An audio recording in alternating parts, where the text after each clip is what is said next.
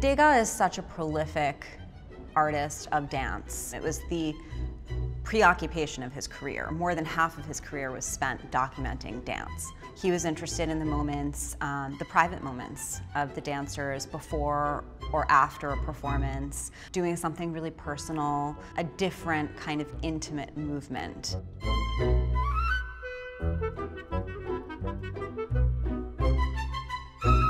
Degas executed this wonderful pastel dancer with green tutu around 1887. And this is really the high watermark of his career. He was a successful artist and living off the fruits of his labor. And the prior decade was probably the decade of his most important and prodigious output. This also coincided with um, his burgeoning and then ever growing uh, fascination with dance.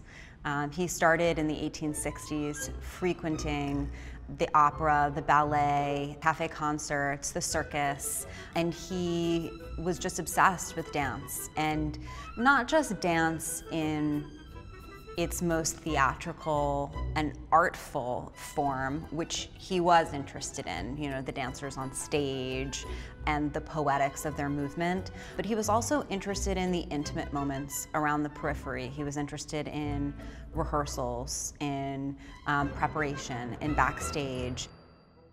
That's really well captured here. Uh, the attention to, you know, a dancer folding over her body to perhaps, you know, tie or lace a shoe. It would appear to be a moment either preceding or following a performance. She's in quite embellished, fantastic costume and a lot of attention is given to the shimmering of the tutu with various colors, gold and pinks coming through the green and that's echoed in other places on the sheet uh, very beautifully. And then of course it's all contrasted with the great intensity of the red and burgundies in the backdrop, suggestive of maybe a red velvet curtain that she's leaning against or standing in front of.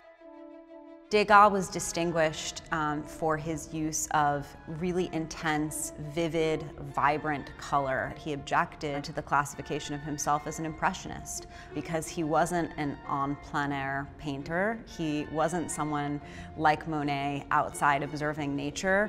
Um, he was actually using really intense color um, to investigate scenes perhaps not of everyday life, but of certain themes um, that really intrigued him in um, his everyday life. What distinguishes this work is its extraordinary beauty, the density and freshness of the application of the pastel. Pastel is a fragile medium and that you should find such a work where you have this incredibly dense application of pastel with such bright color is really remarkable.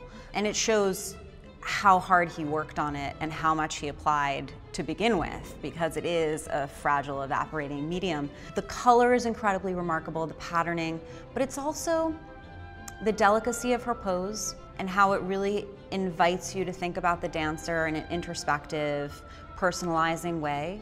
And it's immediately recognizable as Degas. It has this um, flair, but also delicacy, intensity, um, but also softness to it um, that um, we see very little work like this today.